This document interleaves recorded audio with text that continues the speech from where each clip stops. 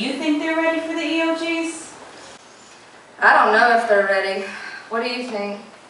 Maybe if they use their strategies? They're definitely going to have to use their strategies. They need to put in a lot of focus. I don't know if they're ready. I'm nervous. I'm extremely nervous. Me too. We keep working at it. They might be ready. I don't know.